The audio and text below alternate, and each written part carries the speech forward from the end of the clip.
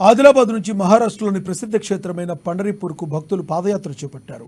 ప్రతి సంవత్సరం లాగానే ఈ సంవత్సరం కూడా భక్తులు భారీ సంఖ్యలో శుక్రవారం బయలుదేరి వెళ్ళారు పట్టణంలోని స్థానిక ఓల్డ్ హౌసింగ్ బోర్డు వద్ద భజన కీర్తనల మధ్య ప్రత్యేకించి పూజలు నిర్వహించి అనంతరం పలకి ఊరేగింపు చేపట్టారు. ఈ సందర్భంగా భక్తులు మాట్లాడుతూ గత పద్దెనిమిది సంవత్సరాలుగా బేల మండల కేంద్రం నుండి ఈ పాదయాత్ర చేపడుతున్నామని తెలిపారు. విఠలేశ్వరుని ఆశీస్సులు సకల జనులపైన ఉండాలనే ఉద్దేశంతో ఈ పాదయాత్ర చేపడుతున్నామని తెలిపారు. వచ్చే నెల ఏకాదశి రోజున అక్కడకు చేరుకుంటామన్నారు.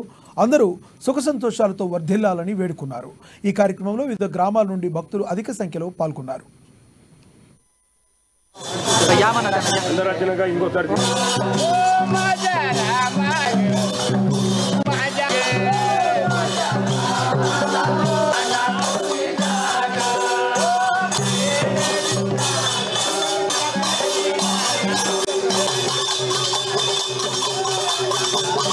Thank you.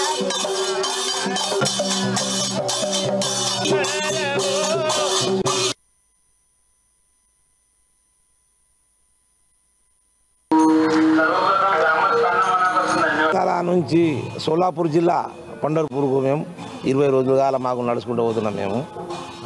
పదయాత్ర ఇక ఊరు ఊరుకు ఇక ముఖం చేసుకుంటా ముఖం చేసుకుపోతున్నాం. ఇరవై రోజులు తగ్గుతాయి మాకు పోతందుకు.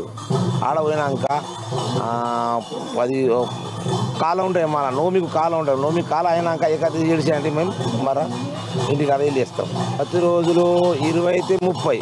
ఇరవై ఇరవై ఐదు నుంచి ముప్పై కిలోమీటర్లు నాస్తాం ఒకనోడు ముప్పై ఉంటాయి ఒకనోడు ఇరవై ఐదు ఉంటాయి ముప్పై. ఇగో దేవుడు అంటే ఇక మాకు పోయిన శాంతి నుంచి ఆనందం ఉంటున్నది. దాని గురించి మాకు మేము దేవుడు మాకు నచ్చాడు మేము దేవునికి నచ్చినాం. మాకు ఏమి బీమారి లేదు ఏం లేదు ఆనందం ఉన్నా ఇంటికాడ ఆనందం ఉన్నా పిల్లగాళ్ళు మేము అంత ఆనందం ఉన్నాం మేము పోతున్నాం అంత మాకు ఆనందం ఉంటున్నాం